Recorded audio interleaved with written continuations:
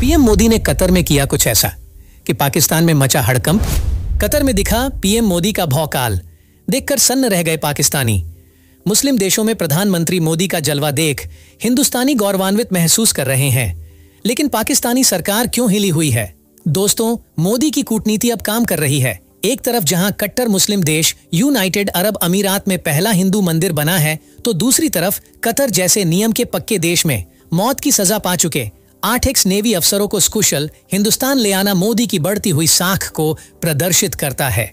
आज भारत के प्रधानमंत्री नरेंद्र मोदी का नाम वर्ल्ड के टॉप पॉलिटिशियंस में लिया जाता है, जो विदेशी मुस्लिम भूमि पर प्राचीन सनातन धर्म का डंका बजाने का काम कर रहे हैं। लेकिन ऐसा लग रहा है कि पाकिस्तान को यह बात रास नहीं आ रही है। आखिर पाकिस्तानियों को यह बात हजम क्यों नहीं हो रही है? इसके अलावा आज के वीडियो में बात करेंगे कि कैसे भारत के यशस्वी प्रधानमंत्री भारत देश की साख बढ़ाने का काम कर रहे हैं। जानेंगे सब कुछ, बस आप वीडियो के साथ अंत तक बने रहे। दोस्तों, स्वागत है आपका सीताराम टीवी पर। आगे चलने से पहले अगर आप सच्चे सनातनी राम भक्त है तो इस वीडियो को एक लाइक करके कमेंट में जय श्री राम ज़रूर लिखे। चलिए वीडियो में आगे बढ़ते हैं। आज के वीडियो में चर्चा करेंगे भारत देश के प्रधानमंत्री नरेंद्र मोदी की लीडरशिप के बारे में।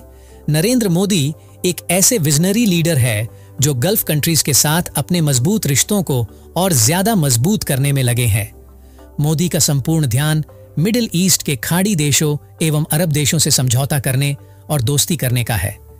इसी कड़ी में हाल ही के दिनों में हुई प्रधानमंत्री नरेंद्र मोदी की यूनाइटेड अरब अमीरात और कतर की यात्रा खासी चर्चा में रही। सबसे पहले बात करेंगे पीएम मोदी की संयुक्त अरब अमीरात की दो दिवसीय आधिकारिक यात्रा के बारे में, जो 13 और 14 फरवरी को सफलतापूर्वक संपन्न हुई। इसके लिए मोदी मंगलवार को संयुक्त अरब अमीरात के अबू धाबी पहुँचे। पीएम मोदी और संयुक्त अरब अमीरात के राष्ट्रपति Sheikh Mohammed bin Zayed Al Nahyan एक दूसरे से गले मिले और साथ ही उन्हें गार्ड ऑफ़ ऑनर भी दिया गया। दोस्तों आपको बता देते हैं कि पदभार संभालने के बाद से पीएम मोदी का यूएई का यह सातवां दौरा है। यूएई के राष्ट्रपति Mohammad bin Zayed Al Nahyan से मिलने के बाद पीएम मोदी कहते हैं कि, मैं आपके इस स्वागत के लिए धन्यवाद देता हूँ। मैं जब भी यहाँ आपसे मिलने आता हूँ तो मुझे हमेशा ऐसा लगता है जैसे कि मैं अपने परिवार से मिलने आया हूँ। हम पिछले सात महीनों में पाँच बार मिल चुके हैं। ये बहुत ही दुर्लभ बात है जो हमारे घनिष्ठ संबंध को दर्शाता है।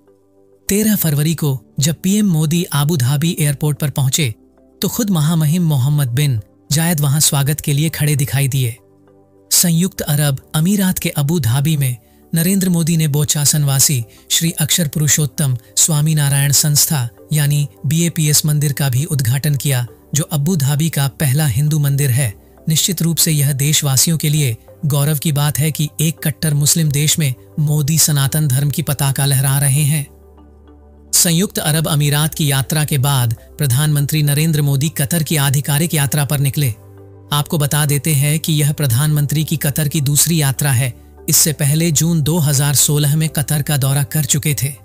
प्रधानमंत्री नरेंद्र मोदी ने द्विपक्षीय संबंधों को और ज़्यादा मज़बूत बनाने पर ध्यान केंद्रित करते हुए कतर के अमीर शेख तमीम बिन हमद अल्थानी के साथ गुरुवार 15 फरवरी को द्विपक्षीय बातचीत की।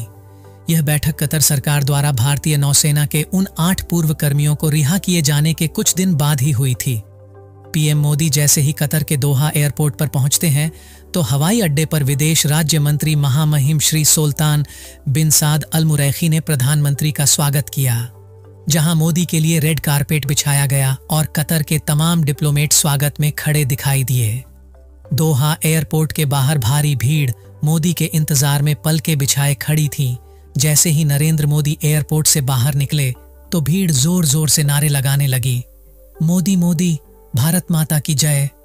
कतर जैसे कट्टर इस्लामी राष्ट्र में भारत माता की जय और जय श्री राम के नारे लगना केवल नरेंद्र मोदी की वजह से ही आज मुमकिन हो पाया है। इसके अलावा इस भीड़ में मुस्लिम समुदाय के बोहरा समाज के कुछ लोग भी खड़े थे, जो मोदी से मिलने को बहुत ज़्यादा आतुर दिखाई पड़ रहे थे।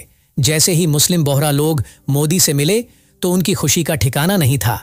साथ ही मोदी ने भी सहर्ष उनका अभिवादन स्वीकार किया। भारत देश के प्रधानमंत्री का कट्टर मुस्लिम देश कतर में ऐसा भव्य स्वागत देखकर तो पाकिस्तान के दांत ज़रूर खट्टे हुए होंगे। संक्षेप में बताइए तो खाड़ी देश अब मोदीमयी हो चुके हैं। दोस्तों, कतर एक ऐसा कट्टर मुस्लिम देश जो बेहद खूबसूरत होने के साथ दुनिया का सबसे अमीर देश माना जाता है, जो अपने तेल और गैस भंडार के चलते सबसे समृद्ध देशों में शामिल हो गया। लेकिन कतर अपने नियमों का पक्का देश है, जहाँ एक बार किसी को मौत की सजा मिल जाए तो जीवन की कल्पना करना बहुत मुश्किल है। बात है अगस्त 2022 की, जब इसराइल के लिए जासूसी करने के आरोप में आठ पूर्व नौसैनिकों को जेल में बंद किया गया था, और अक्टूबर 2023 में कतर की अदालत ने आठों नौसैनिकों को मौत की सजा सुनाई थी। नौसेना अधिकारी कमांडर संजीव गुप्ता के अनुसार, जब फांसी की सजा सुनाई गई तो यह सुनकर मैं सन्न रह गया था। लेकिन भारत देश के प्रधानमंत्री और विदेश मंत्री पर मुझे बहुत ज़्यादा भरोसा था। विश्व में भारत के बढ़ते प्रभाव और कतर के आमिर के साथ पीएम मोदी के निजी रिश्तों के कारण हम सभी को जेल से रिहा कर दिया गया। कुल मिलाकर मोदी सरकार के प्रतिनिधित्व में कतर देश ने आठ पूर्व नौसैनिकों की मौत की सजा माफ़ करके उन्हें सकुशल स्वदेश भेज दिया। आज तक न्यूज़ मीडिया में छपी खबर के अनुसार, कतर की जेल से रिहा होकर भारत पहुँचे पूर्व नौसेना अधिकारी कमांडर संजीव गुप्ता ने बातचीत में कहा कि हमारे खिलाफ क्या आरोप थे, हमें भी इसकी कोई जानकारी नहीं है।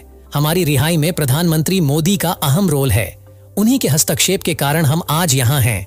देखिए, ये है नरेंद्र मोदी का जलवा, जिसे देश ही नहीं, बल्कि सुदूर विदेशी राजनेता भी स्वीकार कर रहे हैं। चाहे कट्टर मुस्लिम देश सऊदी अरब हो या यूनाइटेड अरब एमिरेट्स हो या फिर कतर हो, सभी अरब देश नरेंद्र मोदी की लीडरशिप क्वालिटी के कायल हो चुके हैं। ये खाड़ी मुस्लिम देश जैसा भव्य स्वागत मोदी का करते हैं, वैसा तो पाकिस्तानी राजनेताओं के लिए कल्पना से भी परे है। इधर पड़ोसी देश, पाकिस्तान की खस्ता हालत देखिए। पाकिस्तान में नवाज़ शरीफ और जेल में बंद इमरान खान दोनों ने सरकार बनाने का दावा रखा है। कौन अगला प्रधानमंत्री होगा, यह भी तय नहीं कर पा रहे हैं। ध्यान से देखें तो पाकिस्तान की राजनीति हमेशा की तरह लड़खड़ाती हुई दिखती है तो वहीं दूसरी तरफ़ हमारे भारत देश के प्रधानमंत्री पूरी गर्जना के साथ मुस्लिम देशों का भ्रमण कर रहे हैं, जो हिंदुस्तानियों के लिए गौरव करने तो पाकिस्तानियों के लिए सीख लेने का विषय है। तमाम पाकिस्तानी मीडिया आज मोदी के बारे में बात कर रहा है।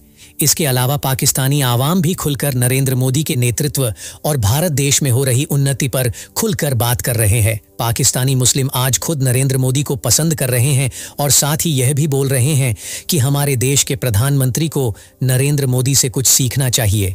दोस्तों, जब से नरेंद्र मोदी ने भारत देश के प्रधानमंत्री के रूप में पदभार संभाला है, तब से लेकर आज तक भारत को वैश्विक स्तर पर एक विशेष पहचान दिलवाई है। आज सभी देश के बड़े राजनेता नरेंद्र मोदी की पर्सनैलिटी के मुरीद हो चुके हैं। अब चाहे आईटी इंडस्ट्री हो या मैन्युफैक्चरिंग इंडस्ट्रीज़, सभी जगह इंपोर्ट की जगह एक्सपोर्ट पर खास ध्यान दिया जा रहा है। कुल मिलाकर मोदी है तो सब कुछ मुमकिन है। तो दोस्तों हिंदू सनातन धर्म के बढ़ते विकास और एक प्रधानमंत्री के रूप में नरेंद्र मोदी को लेकर आपके क्या विचार है? क्या नरेंद्र मोदी जी फिर से देश के प्रधानमंत्री बन पाएँगे? हमें कमेंट के माध्यम से ज़रूर बताइए और वीडियो को एक लाइक करके अपने सभी दोस्तों को व्हाट्सएप के माध्यम से वीडियो शेयर ज़रूर करें। सनातन धर्म से जुड़े ऐसे ही रोचक वीडियो देखते रहने के लिए सीताराम टीवी यूट्यूब चैनल को अभी सब्सक्राइब करें। धन्यवाद।